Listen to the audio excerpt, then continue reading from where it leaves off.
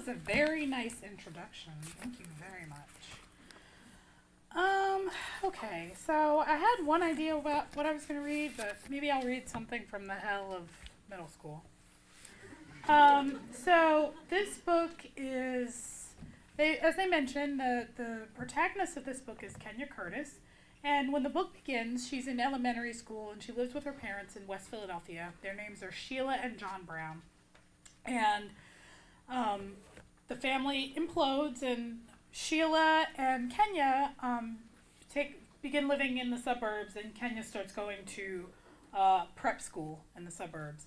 And so um, I'll read a description of the school, and then I'll read some scenes that take place there.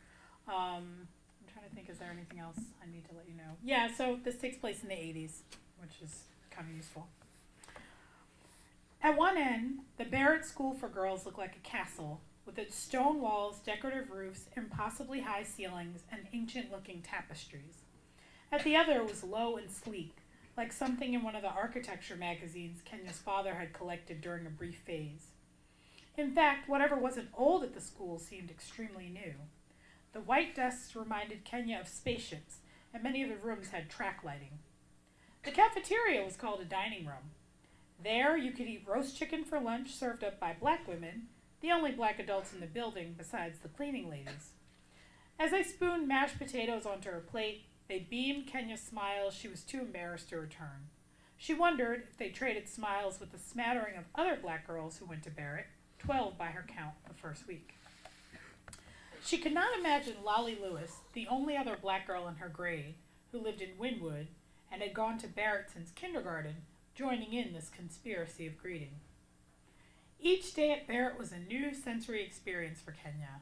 Chilly stone hallways, clammy modeling clay, picking impossibly sticky long hairs off her school bag, a school uniform of scratchy bloomers with a navy blue dress called a tunic, or a gray skirt called a kilt, rubbery tasting mouse guard for field hockey, the sound of handbells, what shall we do with a drunken sailor, the distinct sneaker fart funk of the school bus, a gym teacher with a British accent, dreidel, dreidel, dreidel, cupcakes for Trinity Howell's birthday, cupcakes for Catherine Stein's birthday, cupcakes for Sengu Gupta's birthday, body on fire with cold, as Kenya finally, after two weeks of increasingly irritable cajoling from Mrs. Winston, forced herself into the pool in gym class.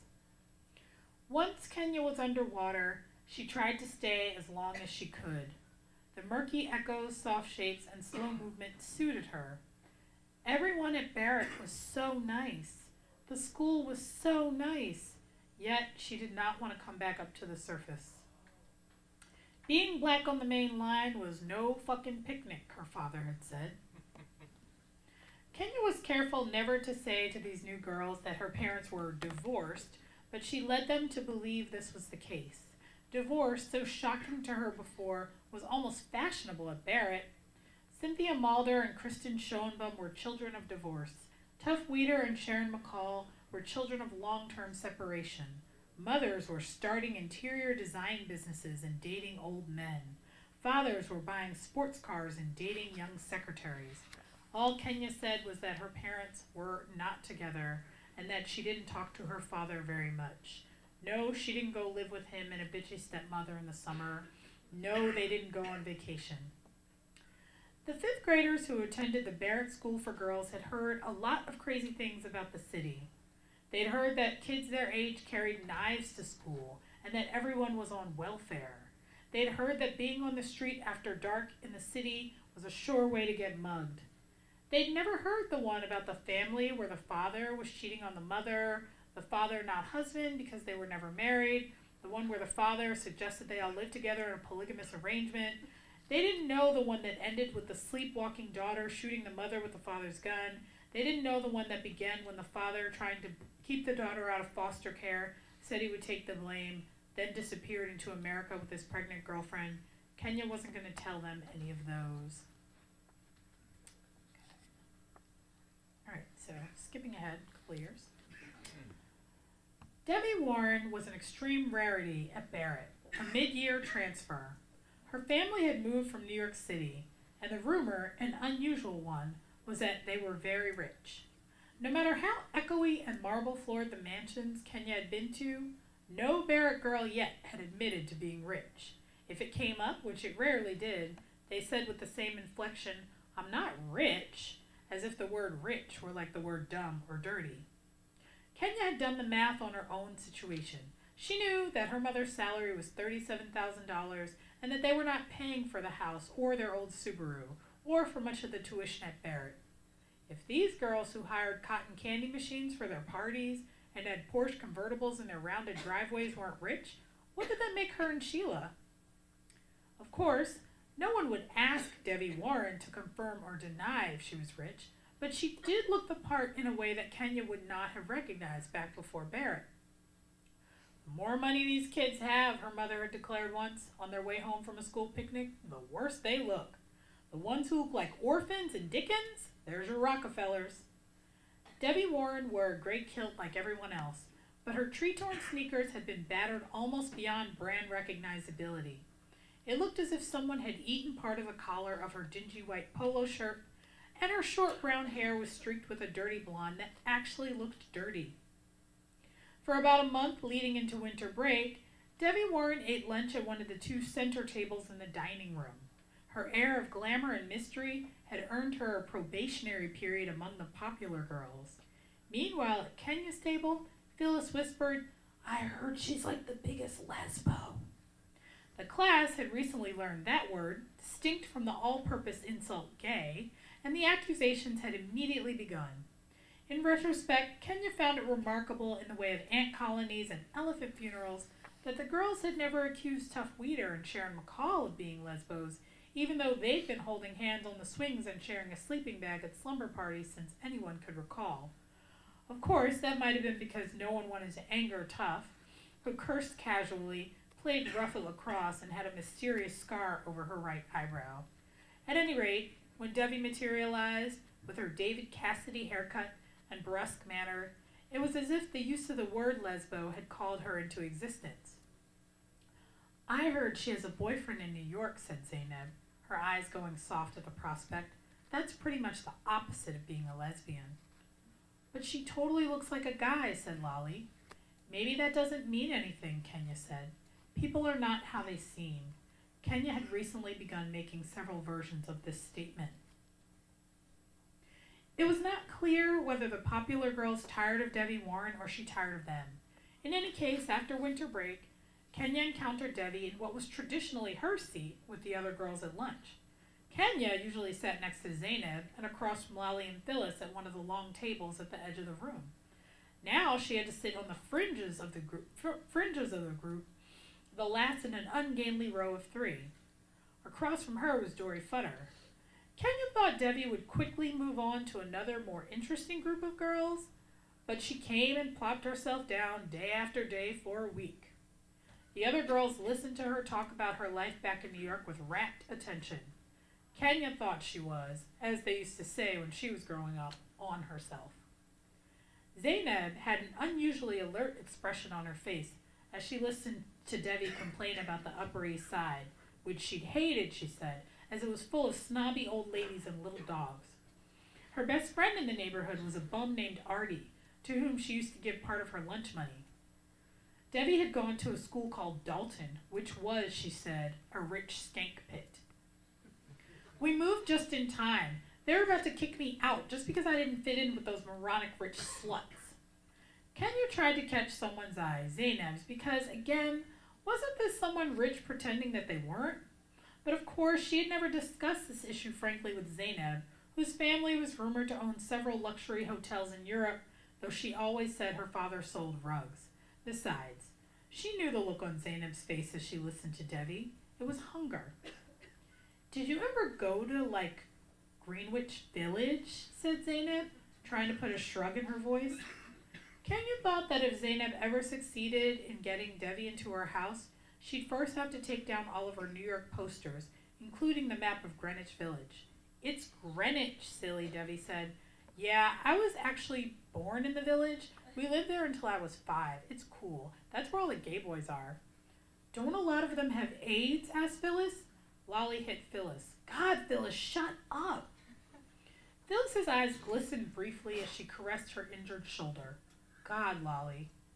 Debbie pushed her hair back. I guess a few of them do. It's actually really sad. Not all gay people have AIDS, Phyllis, said Zainab. Kenya thought of Teddy Jaffrey. I should say Teddy Jaffrey is her mother's boyfriend at this point. He's the only villain in the book. Kenya thought of Teddy Jaffrey and her mother watching a news special about the disease. Teddy Jaffrey had declared that it wasn't just prejudice anymore. He could now decline to shake a faggot's hand for health reasons.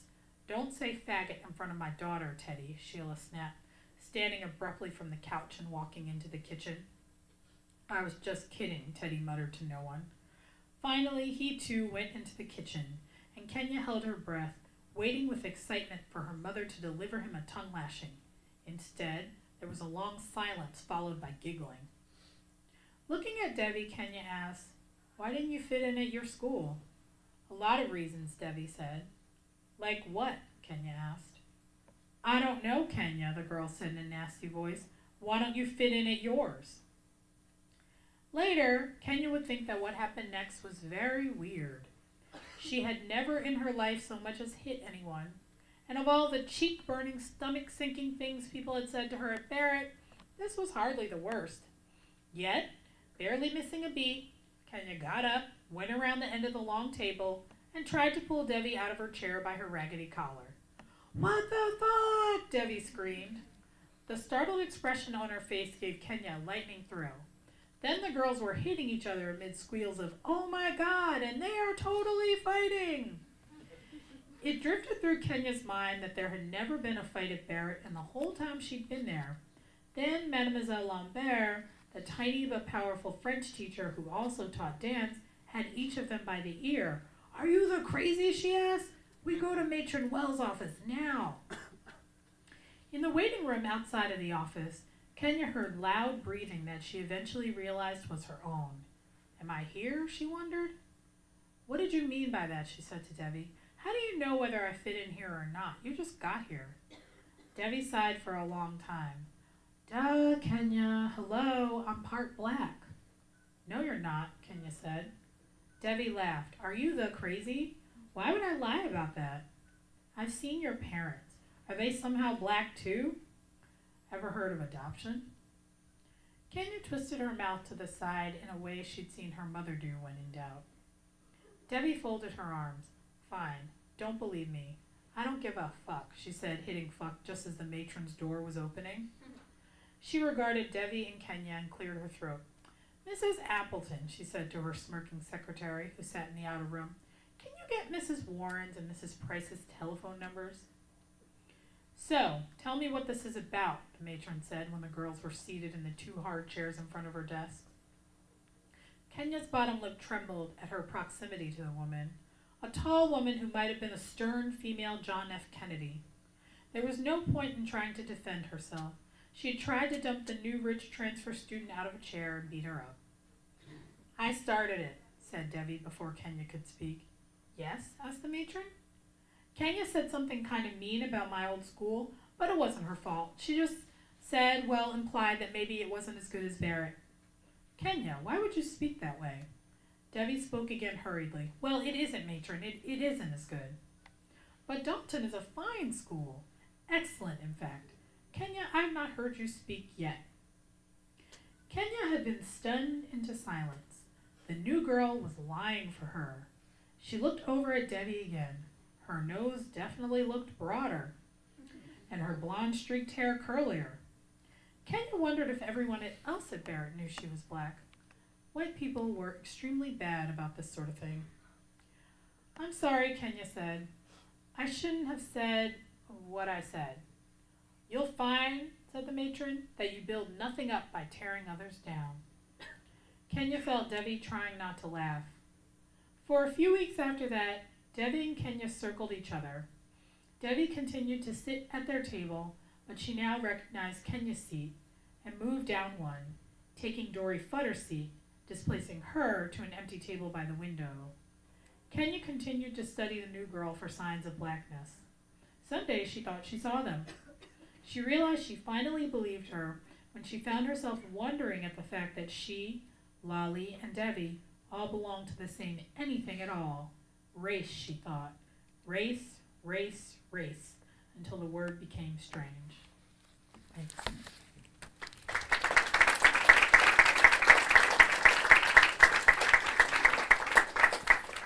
Um, so since this was a lecture, the lecture series in addition to reading, I brought some very brief comments that I've entitled Children of the Revolution That Never Was, Black and Disgruntled in America. Um, so this is really, this is, I'm answering some questions that you'll have and talking a little bit about the genesis of the novel and some things that I was thinking about and some things that I've been thinking about even more as I go around reading to people. So, um, there are three questions I always get asked.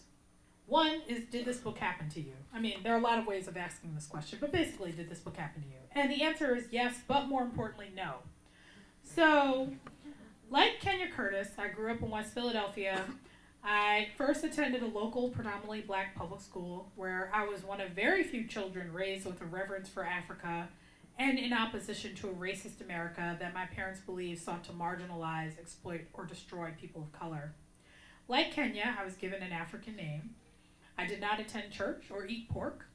Like Kenya, I transferred to a predominantly white girls' school in the elite Philadelphia suburbs, where it became even more bizarre to explain Kwanzaa to my classmates.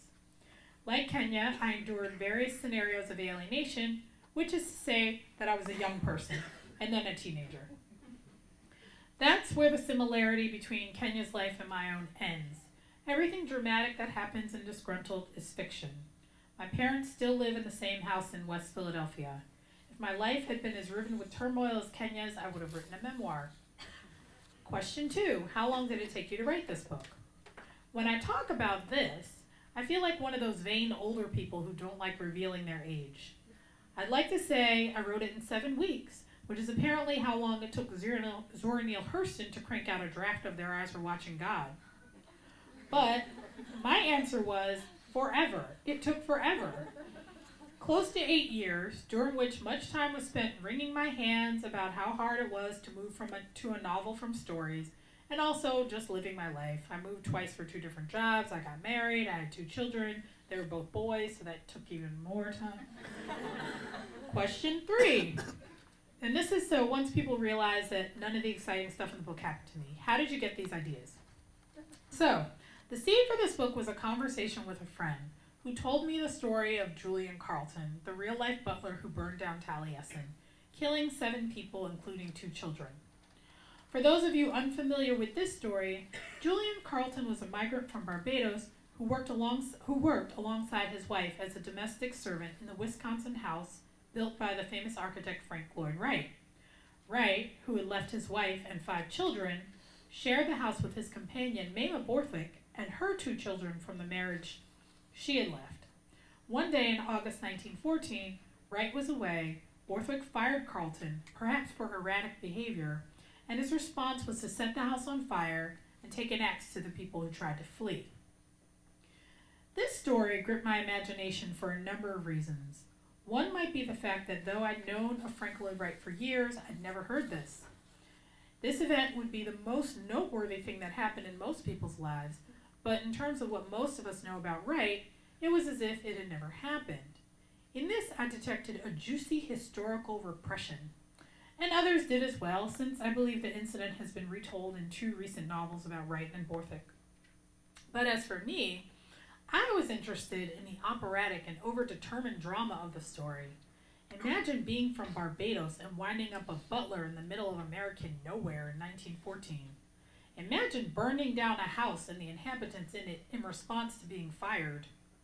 The title Disgruntled was the first thing about this book that suggested itself to me, and as I went on two subsequent tours of Taliesin, a house whose architecture demonstrates a complete disregard for the lives of domestic workers more colorfully than most, I kept thinking about it. Neither Kenya Curtis nor her parents or the social activist group that her parents form are disgruntled in the way that Julian Carlton was disgruntled.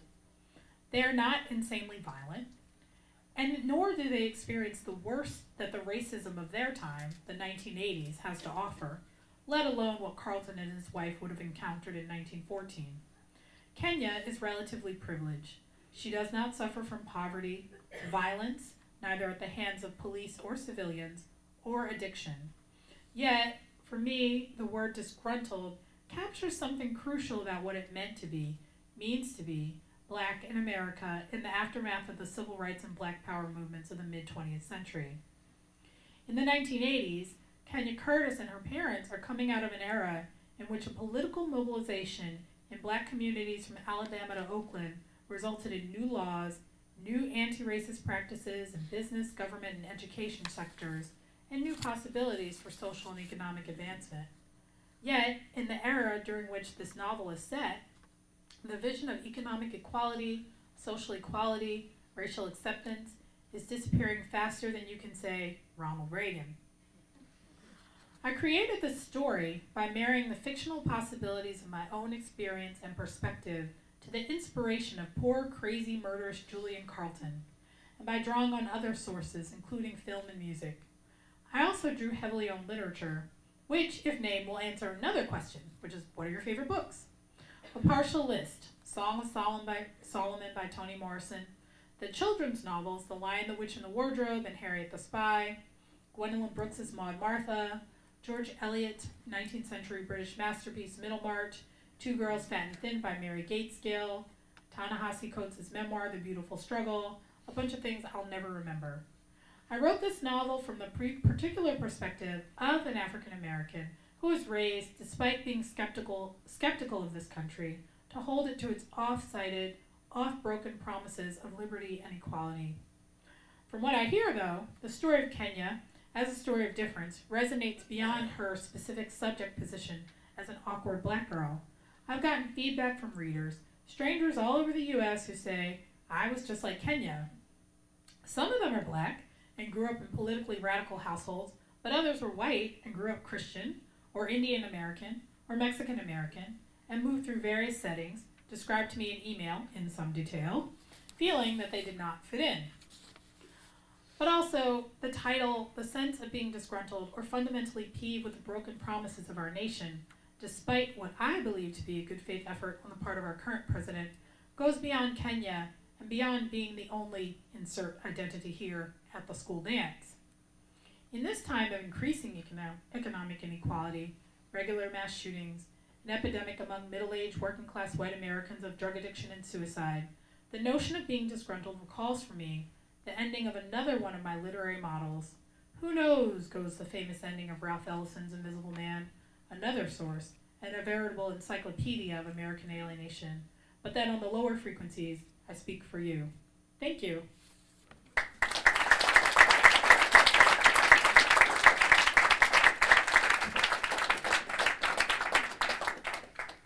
So, questions? And I had a very good discussion with the the the literary festival class today, but they should feel free to still ask more questions as well.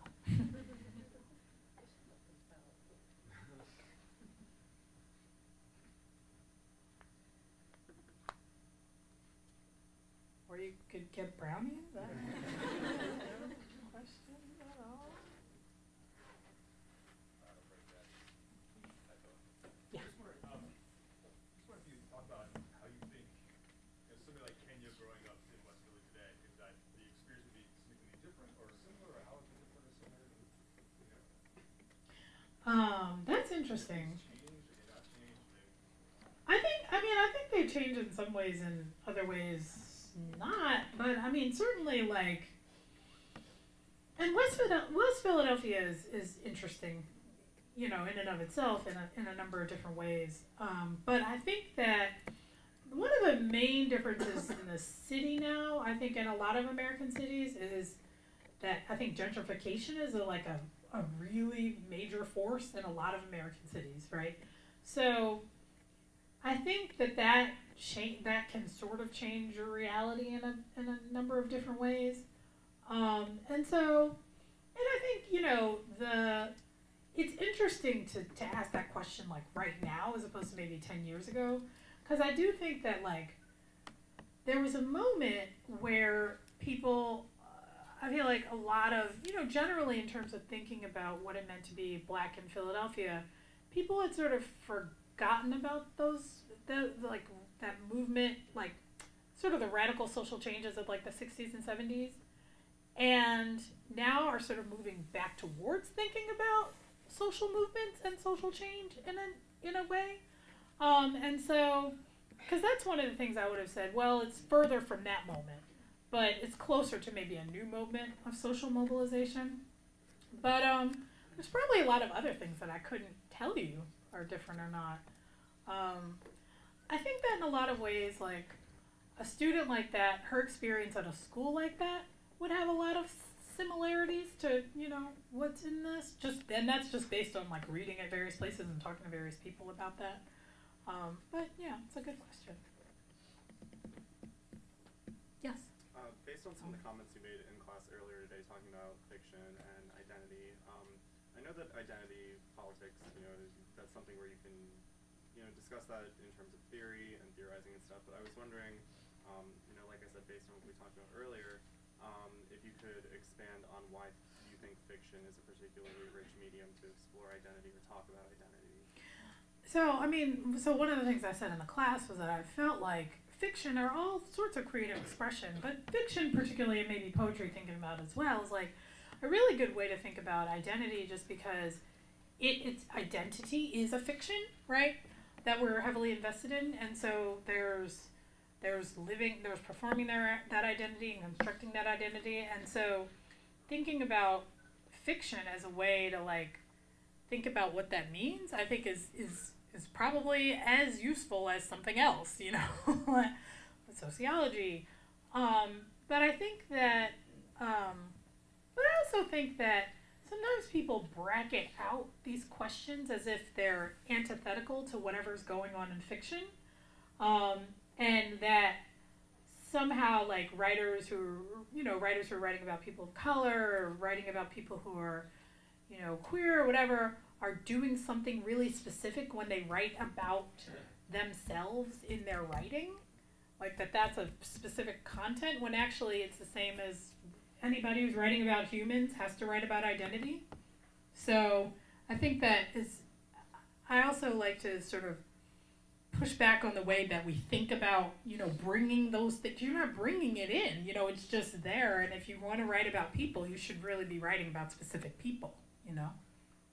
So, you wanna, did you ever hear that? Oh, I did, yeah. Um, given that you were sort of um, looking to your personal history for material and reflection, um, I'm just curious how the act of writing, and I guess creative writing, um, has changed your relationship with the past.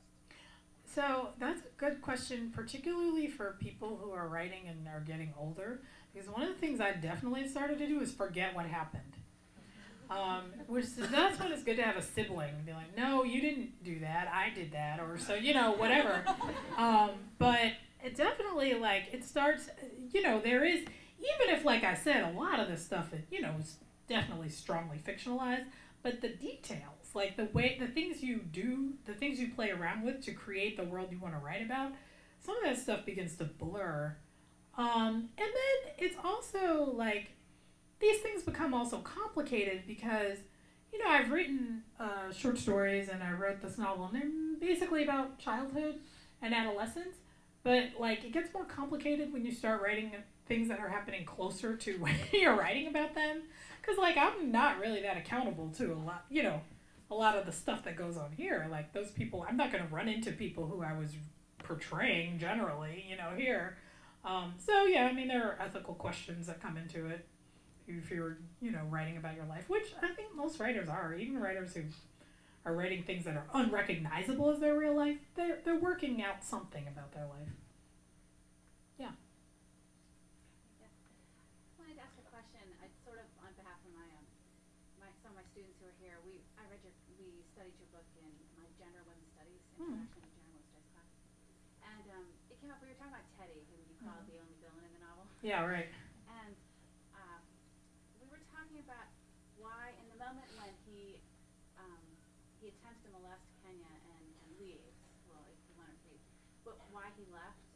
you understand his relationship to her. I think my students would, I would like to hear you talk some about that because it's such a um, scary moment. Yeah. No, so I mean, I think the way I thought about why he left was I think like for him to be able to um, establish, like, sort of for him to be able to assault her in that way successfully, meaning that she wouldn't go to her mother, she would have had to present herself differently. And so when she says, like, what are you basically like what are you doing here? Instead of some other response it's like not the right response. Um, and so i mean that's kind of how i think about it. Like that was like a moment where like he texted sorry for the spoiler alert. I mean I, and also i like at the beginning of like reading from this book for things i would like really guard plot secrets. Now i'm just like and then in this tell-all scene where everything happens um, so yeah so i think like I think that's part of what I was thinking about with that.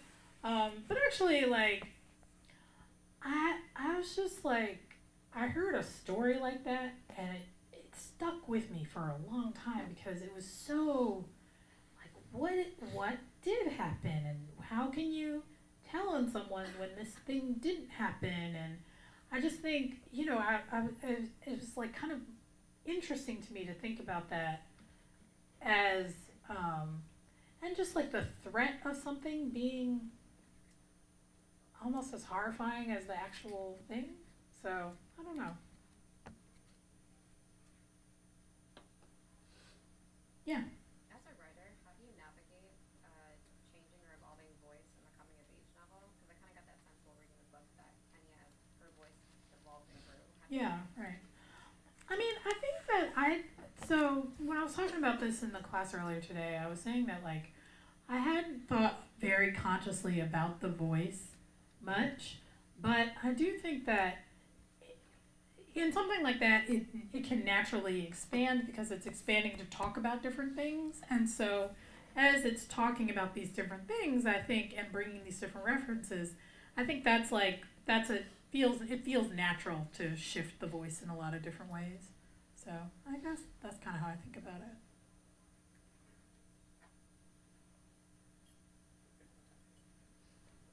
Um, what was your thought process and what were some of the challenges in switching from writing short stories to writing a full length novel?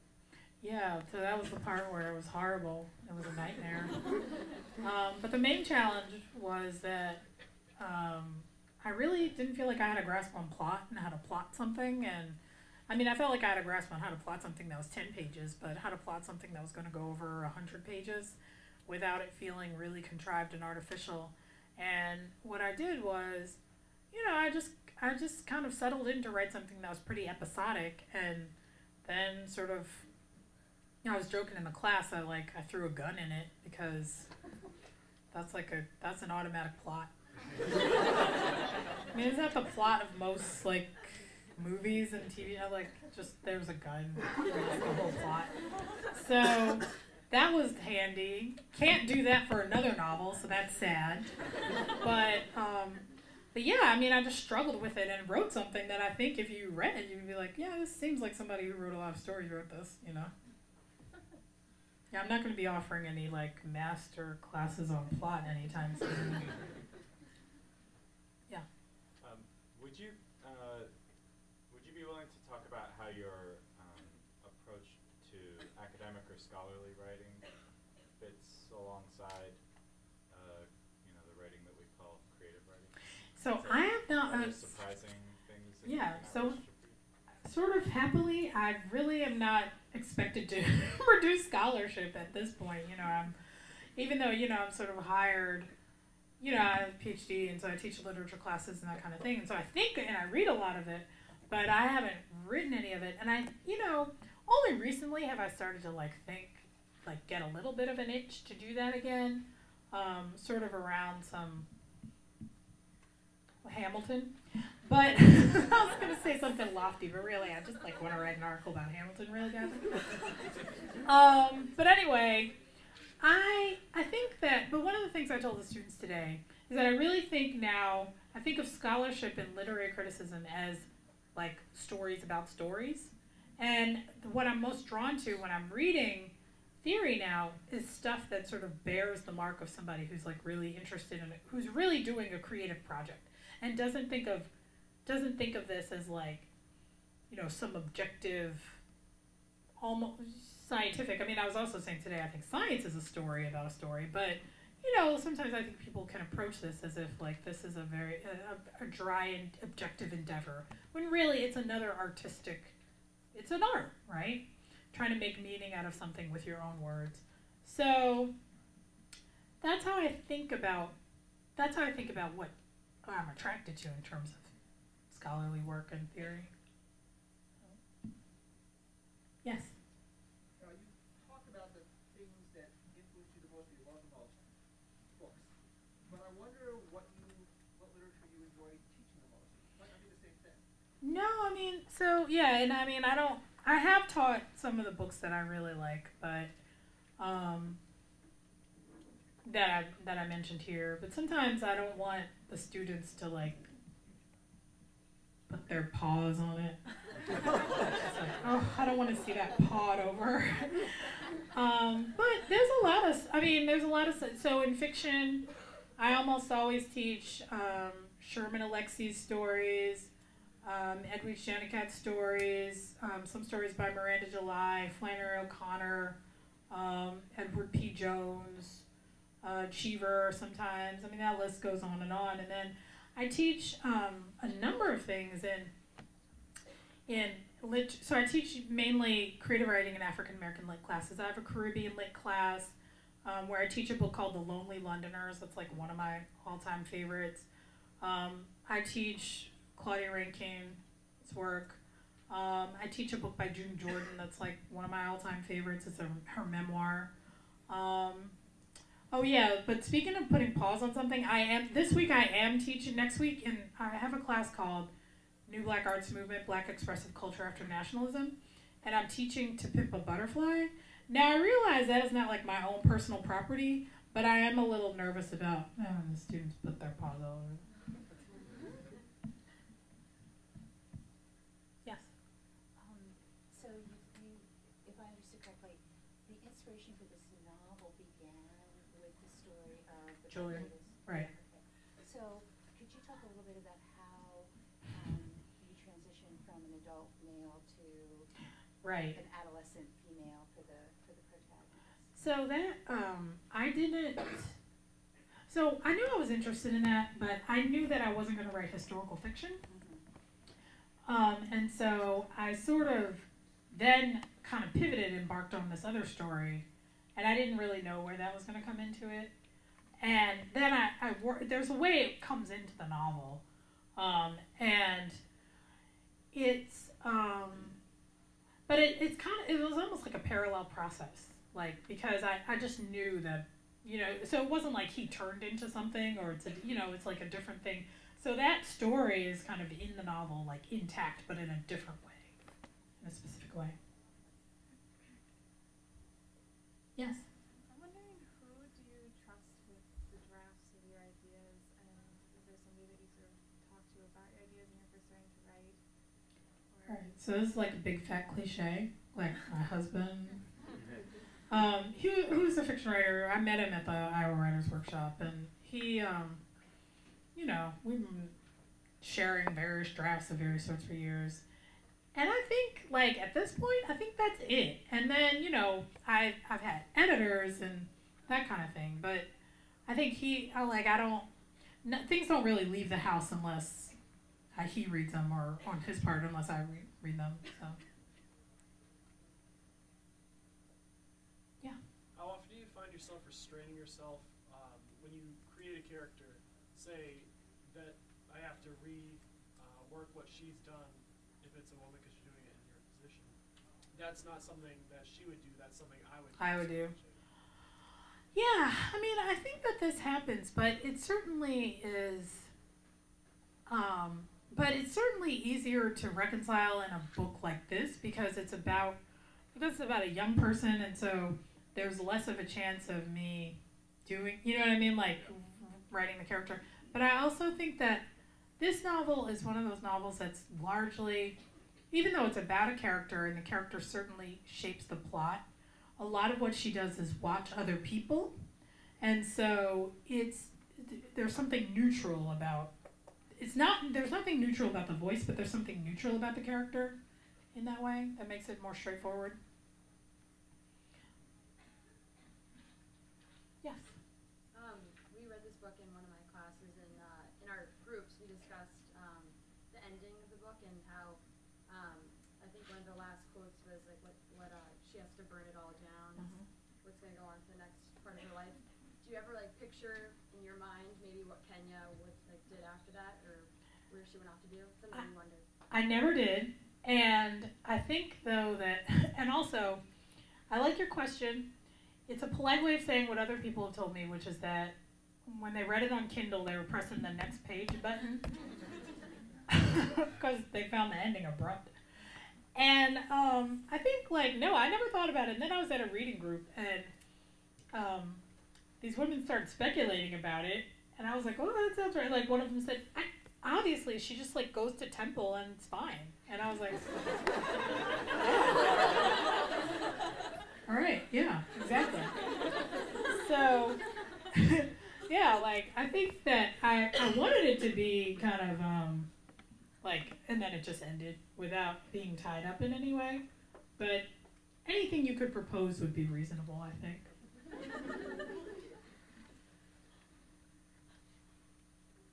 yeah I think it's interesting that um, you sort of ventured to the main line first as a student, and now you're back at Haverford as a professor. Mhm. Um, are you still navigating that relationship, or do you feel that your perspective has changed or is still changing?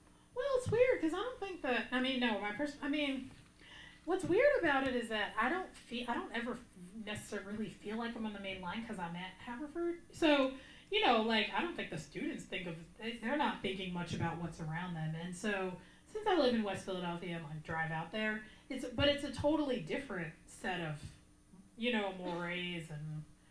You know, complicated social interactions that I'm navigating just by virtue of like working at a working at a college, you know. Um, but it, yeah, I mean, it, it is weird. It's weird. I mean, it used to be really weird when I first moved back and started working here and sort of going to places that were like, oh, I thought this place was so great, or I thought, you know, this was where this happened, or whatever. Um, but it's not as like haunting as maybe I would have thought it would be.